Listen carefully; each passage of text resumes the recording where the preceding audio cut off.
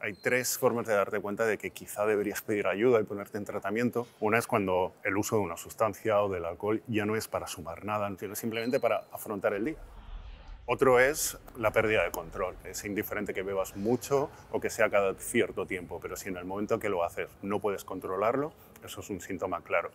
Y el tercero es el entorno. Día de cada diez veces que tu entorno te dice que tu forma de beber no es la habitual, tienen razón. Es complicado, pero hay que dar ese paso de pedir ayuda, esto es una enfermedad, i esa tiene una parte positiva, que tratamiento. El Xavi va venir l'any 2018, ha seguit una mica els tractaments habituals que fem aquí a la unitat, seguiment amb psiquiatria, psicologia, ha fet teràpies eh, de grup, ha fet seguiment amb infermeria i també ha fet alguna visita amb, amb treball i educació social. Antes de ponerme en tratamiento, pues los días eran un caos.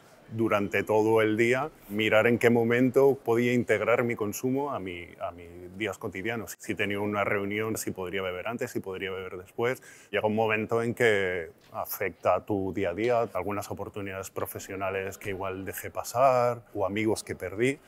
Y echando la vista atrás, yo creo que si no hubiera estado consumiendo alcohol, seguramente alguna de esas cosas hubiera sido diferente.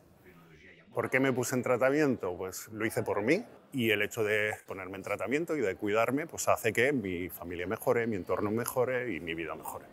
Sí, de la unitat de conductes de l'Hospital Clínic destacaria la seva filosofia diguem, motivacional, que té com a objectiu conèixer bé les característiques, els interessos i les motivacions de cada pacient amb l'objectiu d'entendre'l millor i poder-lo ajudar també de la millor manera possible.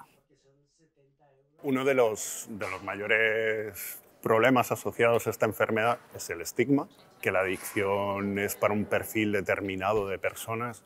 Para nada, es una enfermedad que afecta a todo tipo de personas eh, de diferentes ámbitos. Yo soy una persona con, estudios superiores, tengo familia, tengo hijos, corro maratones y esto pues le puede afectar a cualquiera.